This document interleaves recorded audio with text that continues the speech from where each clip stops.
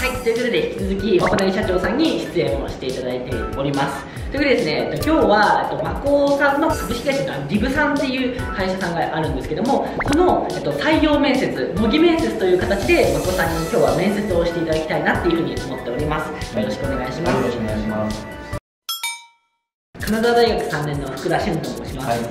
僕は今就活 YouTuber として活動していまして就活生向けに YouTube チャンネルを運営しています、はい、で今2.7万人の就活生のユーザーがいまして地方と都会の就活に関する情報格差を埋めるっていうことを、えっと、目標に今は活動しています、はい、誠と申します、はい、今は Google 社員でソフトウェアエンジニアのレベル3としてやらせていただいてます。どうもよろしくお願いしますそれに普段しっかりブログを読み込んできていただいてそれを理解してる前提でやるんでブログに関してどういう感想ですかってことが多いんですけどちょっと今回はもうゼロベースだと思うのでそれで質問していきたいと思うんですけどもまずあのリブで働く上で一番大事にしていることが、はい、その人自身が本当に心から100%幸せを感じて普段、えー、業務を、まあ、遂行できるか働けるかってところなんですねだから幸せに働ける人を探してます。じゃあ幸せに働ける人って、一番大事なことは何かっていうと、はい、自分で考えてるのは精神的に自立してることなんです、だから自分に自信があるかっていうところがすごい大事なんですけど自分に自信ありますか？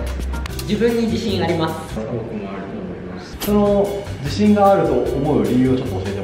自分に自信がある理由としてはいくつかあるんですけど一つは成功体験があるということです。で具体的に成功体験とは何かと言いますと、はい、自分自身大学2年の時から YouTube 活動を 2, 2年間やってきまして、うん、一定数就活生に絞ったチャンネルを運営してきて2.7万人の就活生のユーザーがついたっていうところ。最初の目標の1万人を達成できたっていうところが成功体験の一つとしてあって自分に自信がつきました。はい僕もなんか10万人とか絶対いかないだろうまあ3年後に行ったらいいよねみたいな感じで思ってたんで、多分そのうち行くと思います。あ本当ですか？めちゃくちゃ心強いです。YouTube でもいいと思いますよ。あ、これ SNS で発信するスキルって普通の人がない希少価値なんで、どの会社でも希少価値がある、求める能力だと思いますけど、テレビがすごく沈んでいって、えー、新しいメディアとしてやっぱ YouTube みんな見てるし、他の見るようになってるんで。そこで発信する能力があってすごい市場価値だと思いますよ学生でもトップレベルでも優秀なんじゃないですか。本当ですか？はい。ぜひ続けてほしいと思います。けどありがとうございます、はい、僕の場合は結構人生挫折を経験してきたんですよ、うん、でもその挫折を乗り越えてそれ以降はゴールをできるだけ高く設定して、うん、大学を早く卒業するとか。3年で卒業した。そうですね。それ以降はできるだけこう他人に負けずに、うん、会社のソフトウェアエンジニアのレベリングとかでも、まあ、2年かかるところを1年で乗り越えるとかそういうふうにできるだけ目標をしてやろうと思って、まあ、今のところはうまくいってるんですけど、そういうつもりだと思ってます。まあ、2人とも内定でいいですね。いやいや、今の言われたら内定出します本当ですか？この時点で、うん、もう、じゃあ今日お疲れ様でした 感じですけどね。やったー。なんだろうな、あと聞くことないな。いや結構自分は本当だったらスキルチェックとかやるんですけどそれって下のメンバーが前もってかなり厳しくやるので、はい、僕に来てる時点でほとんど落ちない。っていうのがあって、はい、なんか自信ありそうだったらで人が良さそうだったら、はい、まあいいかなっていう、まあ、話してる時のこのコミュニケーションの、なん感覚とかって分かるじゃないですか人生のポジティブループに入ってほしいですよね。なんかみんなちょっと自分がどうなるかうまくいかない状態とかをすごくこう嫌がるというか抵抗が強い人が多いんですよね。人間誰もが理解できないほど難しいことって世の中にそんなにないと思ってるんですよね。だから結局心が折れなければ絶対うまくいくんですよね。そういう意味で桃と言ってるのはやっぱ自分に自信があるとか成功体験がある。いかに毎日1分1秒をね人生を幸せにするってことに自分の時間を全力で使えたか。これを大事にしてますし一緒に働く仲間もそういう思いを持った人であってほしいなと思ってますね。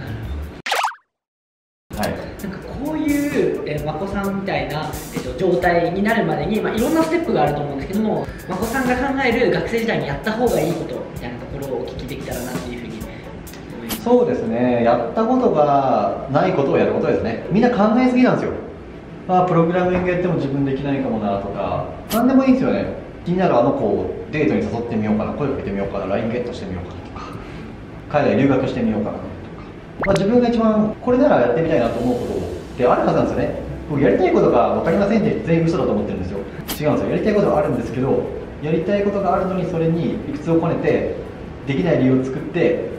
やりたいことがないって言い訳してるんですよ、そういうちょっとやりたいことを言い訳せずに、まあ、ちょっとやってみようかっ